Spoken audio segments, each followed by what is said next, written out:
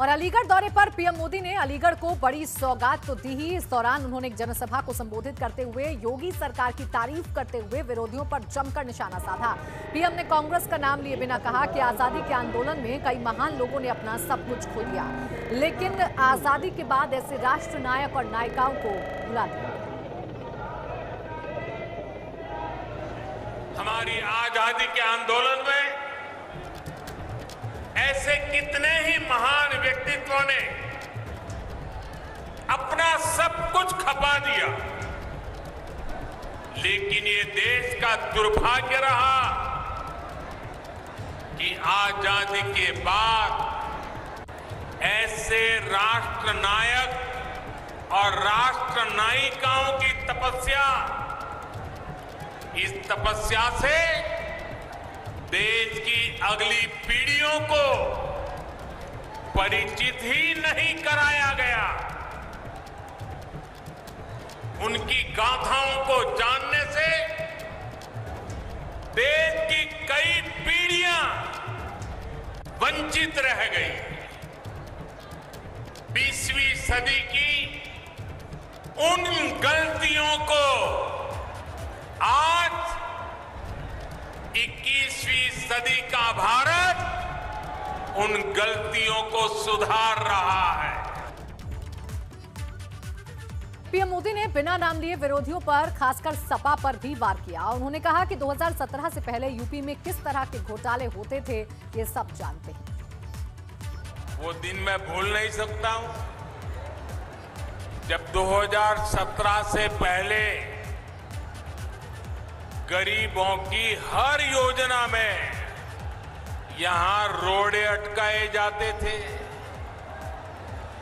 एक एक योजना लागू करने के लिए दर्जनों बार केंद्र की तरफ़ से चिट्ठी लिखी जाती थी। लेकिन यहाँ उस गति से काम नहीं होता था। ये मैं 2017 के पहले की बात कर रहा हूँ। जैसे होना चाहिए था, वैसा नहीं होता था। साथियों यूपी के लोग भूल नहीं सकते कि पहले यहाँ किस तरह के घोटाले होते थे, किस तरह राजकाज को भ्रष्टाचारियों के हवाले कर दिया गया था।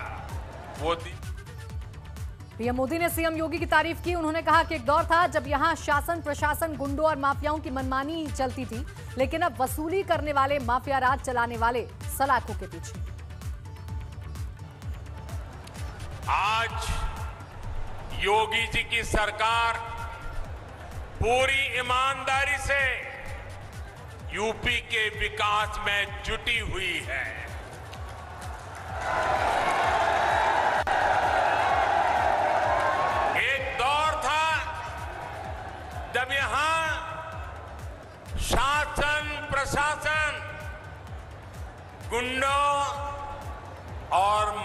माफियाओं की मनमानी से चलता था।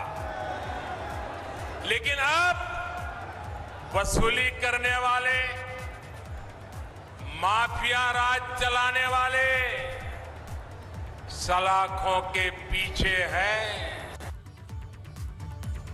वहीं पीएम ने यह भी कहा कि अब यूपी में बहन बेटियाँ सुरक्षित हैं। आज कोई भी अपराधी अपराध करने से पहले सौ बार सौ बार सोचता है।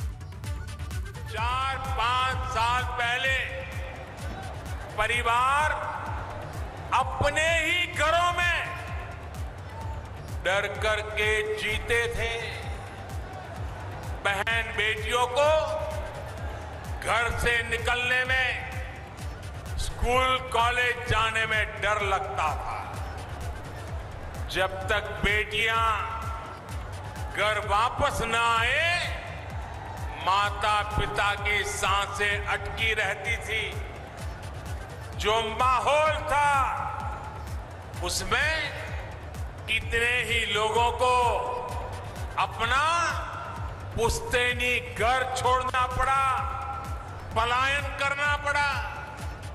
आज यूपी में कोई अपराधी ऐसा करने से पहले सौ बार सोचता है। वहीं पीएम ने राजा महेंद्र प्रताप सिंह के योगदानों को याद किया। उन्होंने कहा कि राजा साहब ने अपने जीवन का एक एक पल आज़ादी के लिए समर्पित कर दिया था। भारत की आज़ादी में राजा महेंद्र प्रताप सिंह ने उनके योगदान को नमन करने का ये प्रयास ऐसा ही एक पावन अवसर है। वो भारत की आज़ादी चाहते थे और अपने जीवन का एक एक पल उन्होंने इसी के लिए समर्पित कर दिया था।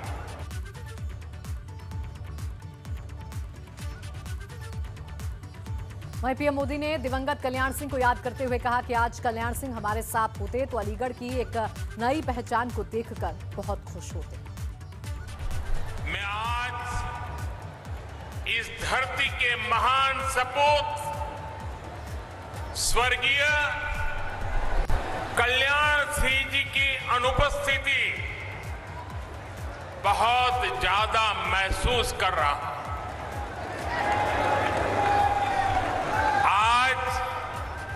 कल्याण सिंह जी हमारे साथ होते तो राजा महेंद्र प्रताप सिंह, राज्य विश्वविद्यालय और डिफेंस सेक्टर में बन रही अलीगढ़ की नई पहचान को देखकर बहुत खुश हुए होते। पीएम ने इस मौके पर कहा कि कल तक जो अलीगढ़ लोगों के घरों की सुरक्षा करता था, अब हिंदुस्तान की सरहदों की सुरक्षा करेगा लोग अपने घर की या अपने दुकान की सुरक्षा के लिए अलीगढ़ के भरोसे रहते थे। पता है ना? क्योंकि अलीगढ़ का ताला अगर लगा होता था तो लोग निश्चिंत हो जाते थे। कल तक जो अलीगढ़ ताले के ज़रिए घरों की दुकानों की रक्षा करता था, वो इक्कीसवीं सदी में ये मेरा अलीगढ़ हिंदुस्तान की सीमाओं की रक्षा करने का काम करेगा।